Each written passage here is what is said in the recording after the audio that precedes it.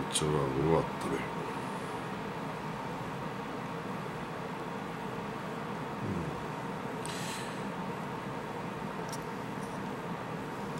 うん正式なもんじゃないんで恥ずかしいですよ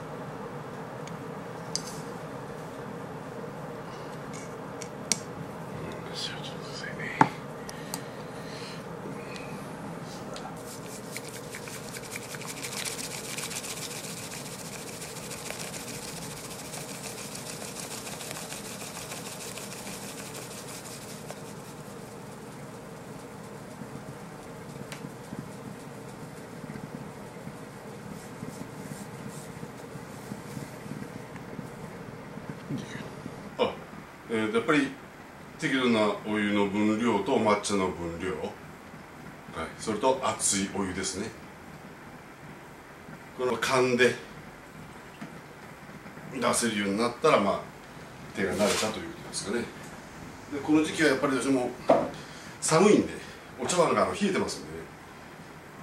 やっぱりだこ熱いお湯入れてもぬるくなると立ちにくいというのは美味しくないんでやっぱり茶碗をまず温めるとかおもてなしの原点は。ああったかい熱いお茶を飲んでもらうためには冷えたお茶碗は使わない。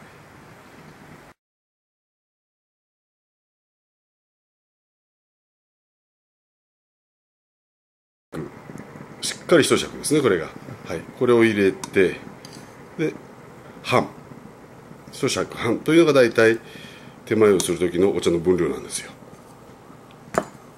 一尺をですから普通にこんなもんが一尺やるとちょっと少ない。やっぱりこういう方が美味しいですからね。しっかり一尺をすくうというのが美味しいです。それこれに見合ったお湯とお湯あのお抹茶の分量に対してお湯の分量が合っているときれいに泡が立ちやす。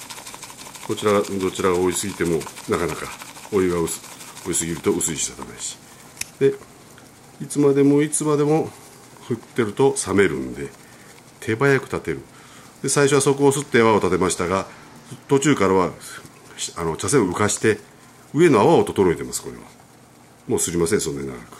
大きなこういう目玉みたいな泡ができない。ようにで軽く整えてやると真ん中をふわっとこう持ってやるような感じになると。そうするとクリーミー